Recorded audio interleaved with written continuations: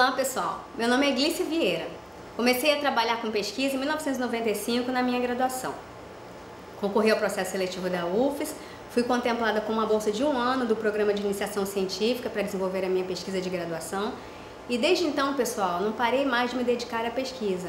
E lá se vão 23 anos de um casamento duradouro com a pesquisa. É, estamos completando quase bodas de prata, pessoal. E eu quero que esse casamento dure ainda muitos anos e que dê muitos frutos, porque eu ainda tenho muito que aprender. Bom, eu vou trabalhar com vocês a disciplina de metodologia da pesquisa.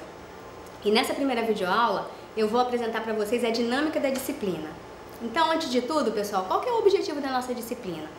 O objetivo da nossa disciplina vai ser dar a vocês uma visão panorâmica sobre o que é pesquisa, como se dá o processo de construção da pesquisa científica, quais são os principais tipos e as principais características da pesquisa, conceitos e elementos do desenho de um projeto de pesquisa e, além disso, definições básicas sobre os elementos de um projeto de pesquisa.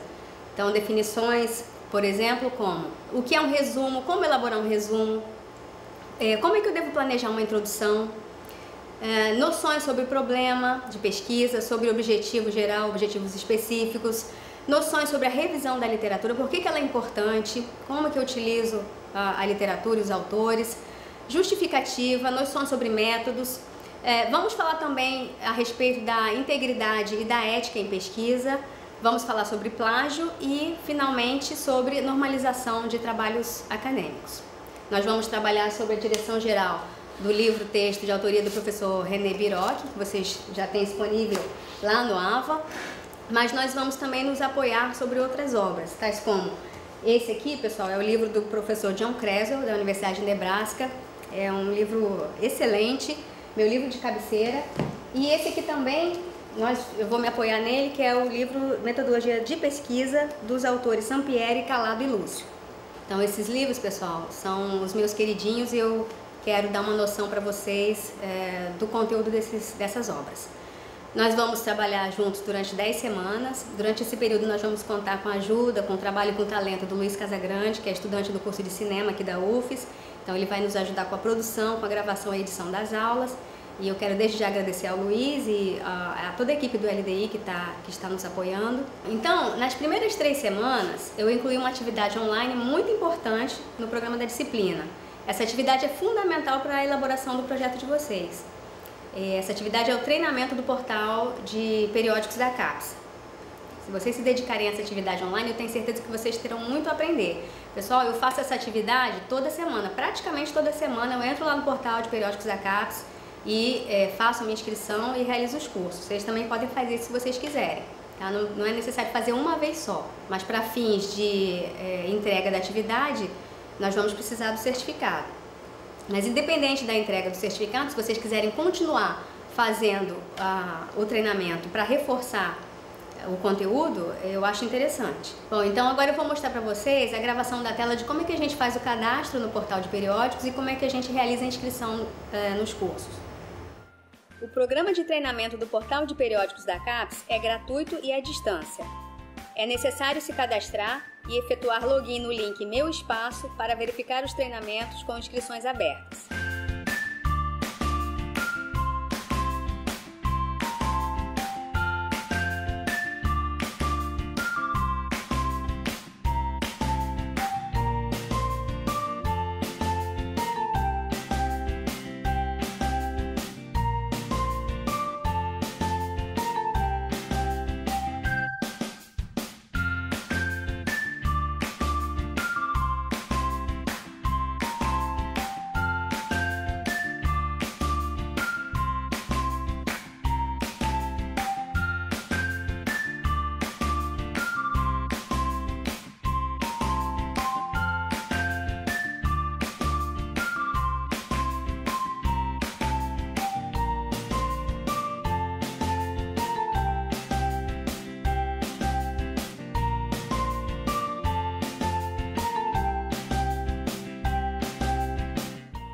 Havendo vaga, basta clicar e solicitar a inscrição no treinamento desejado. A CAPES enviará um e-mail confirmando a inscrição de vocês em até dois dias úteis.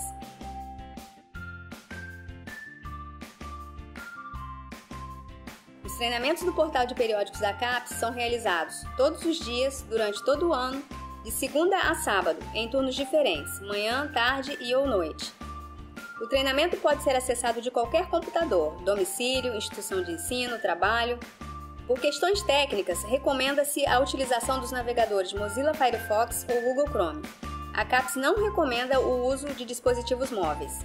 Os treinamentos são realizados por meio da plataforma webconferência em tempo real, ao vivo, conforme a data e horário indicados.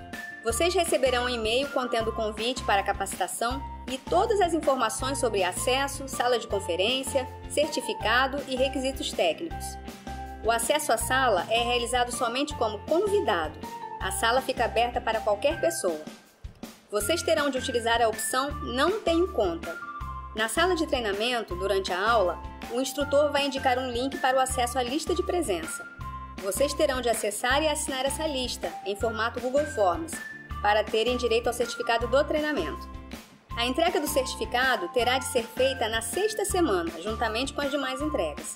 O treinamento da CAPES será contabilizado como avaliação online e valerá 30% da nota final. Esse treinamento será fundamental na etapa da revisão da literatura. Eu recomendo que o treinamento seja realizado por vocês o quanto antes, a partir do dia 30 de julho, já que o certificado leva 7 dias para ser emitido. A quarta semana, pessoal, será dedicada a um alinhamento conceitual. Nós vamos trabalhar as unidades 1 e 2 do livro texto e o tema dessa primeira semana será focado na relação entre ciência, metodologia e pesquisa em administração. Quais são os objetivos aqui dessa, dessa unidade? é trabalhar o conceito de ciência, identificar quais são as principais características do conhecimento científico e, além disso, é, tentar distinguir uh, o conhecimento científico em relação a outros tipos de conhecimento. Vocês vão ver que existem outros tipos de conhecimento nós vamos, que nós vamos tratar na aula, tais como, por exemplo, o conhecimento popular, o conhecimento filosófico e o conhecimento religioso. E vamos tentar então fazer essa distinção entre o conhecimento científico e outras formas de conhecimento. Na quinta semana, nós vamos trabalhar a unidade 2. O tema dessa unidade será tipos de pesquisa e estratégia de pesquisa. Qual que vai ser o objetivo aqui? O objetivo vai ser mostrar que existem diferentes tipos de pesquisa científica, além disso, abordagens complementares de pesquisa e também conhecer as estratégias de pesquisa. Na sexta semana, nós vamos dar início ao coração da nossa disciplina. O tema, de pesqui... o tema da unidade será o processo de pesquisa e o nosso objetivo vai ser conhecer as principais etapas do processo de pesquisa, planejar o referencial teórico da pesquisa, delimitar o problema e os objetivos de pesquisa, além disso, justificar um projeto de pesquisa. Vamos trabalhar também uh, os componentes básicos de uma introdução e, além disso, apresentar os componentes básicos de um resumo. Na sétima semana, ainda dentro do tema processo de pesquisa, nós vamos trabalhar questões envolvendo integridade e ética em pesquisa. Nós vamos buscar compreender que para obter integridade na pesquisa é necessário ter um comportamento ético. E esse comportamento ético, ele precisa ser considerado desde a escolha do tema até a comunicação dos resultados. Qual vai ser o objetivo então dessa, dessa aula? Discutir os temas ética em pesquisa e integridade em pesquisa. Então, do lado da ética em pesquisa, o objetivo vai ser entender por que, que as pesquisas envolvendo seres humanos devem ser executadas dentro de padrões éticos. E, além disso, identificar quais são as responsabilidades dos pesquisadores. Do lado da integridade, nós vamos buscar compreender o conceito de plágio, os motivos pelos quais o plágio acontece, os tipos de plágio. Além disso, como é que o plágio pode ser evitado e outros exemplos de más condutas científicas. Já na oitava semana, o tema da unidade será instrumentos e técnicas de coleta, análise e interpretação de dados. E o objetivo aqui vai ser o seguinte: conhecer os principais instrumentos e técnicas para uh, análise de dados. Por quê? Por que, que é importante conhecer esses instrumentos? Para adequar coerentemente os procedimentos de coleta de dados aos objetivos de pesquisa analisar e interpretar os dados coletados no campo empírico de acordo com as escolhas metodológicas que vocês fizerem. Durante essa aula, nós iremos até o campus da Universidade Federal do Espírito Santo em Vitória para conversar com alguns professores que desenvolvem pesquisas em suas respectivas áreas de atuação.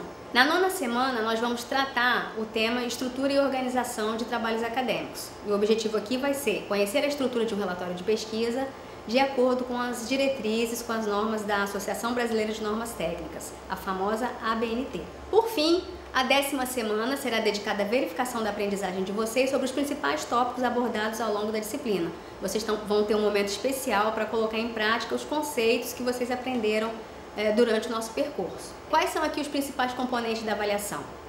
Como é que está sistematizada a avaliação? Vocês vão é, fazer o treinamento da CAPES, esse treinamento valerá 30% da nota.